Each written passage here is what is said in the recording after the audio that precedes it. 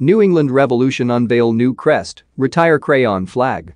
The New England Revolution have unveiled the crest that will front their new brand identity from the start of the 2022 Major League Soccer season. Thursday's reveal comes as little surprise with the new crest leaked on social media some time ago, but it does mark the culmination of a rebranding process that started as far back as 2019.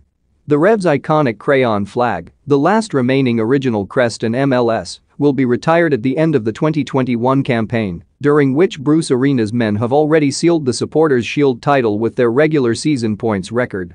We are proud of our history as a founding member club of Major League Soccer, and after more than 25 years, we felt an evolution of our brand identity was an important step to continue our club's upward trajectory and better reflect our growth and ambitions as an organization, Revolution President Brian Bilello said. We began this process several years ago with an open mind as we sought out the voices of our fans and supporters to guide us in this process. According to the club, the new crest roots the club's identity in the defiant and patriotic spirit of the American Revolution.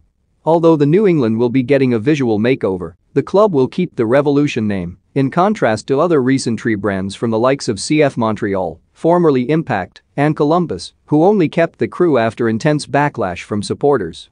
The consensus rang loud and clear, our fans deeply connected to the New England Revolution name and did not want to see that changed, explained Cathal Conlon, Revolution Vice President of Marketing and Community Engagement.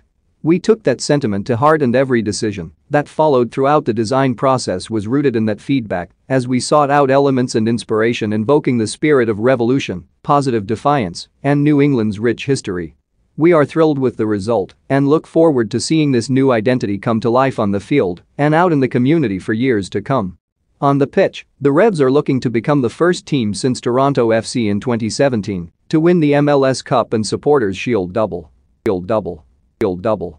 Shield double. Shield double. Shield double.